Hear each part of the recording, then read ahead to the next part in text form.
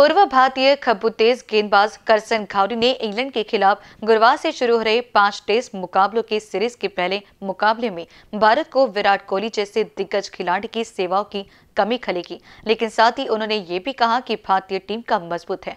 कोहली ने निजी कारणों से पहले दो टेस्ट मैचों से नाम वापस ले लिया है। गावरी बुधवार को बैंकर स्पोर्ट्स काउंसिल के वार्षिक पुरस्कार वितरण समारोह में भाग लेने के लिए शहर में थे। उन्होंने संवाददाताओं से बात करते हुए कहा कि विराट प्रतिभावान खिलाड़ी है और भारतीय टीम निश्चित रूप से उन्हें मिस करेगी।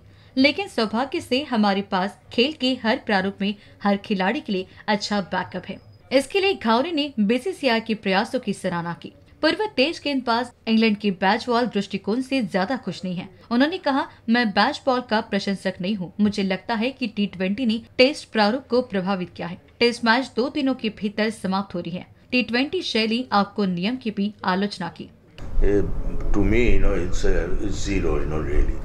जो अपने ग्यारह खिलाड़ी होते हैं जो टीम के अंदर सिलेक्ट होते हैं उनको ही खेलना आता है। जैसे आपने ऑलराउंडर की बात कही तो one allrounder you know cannot you know replace by another allrounder in the same match आप यू नो ग्यारह में उनको दो ऑलराउंडर को खिलाइए ना फिर आप। आपको रिप्लेस करने की क्या ज़रूरत है? I mean certain rules in I C C what they make I I don't know possibly, uh, just to make, you know, for the sake of, you know, changing the rules, they are doing it, which is, uh, well, I'm, I'm not with it, really.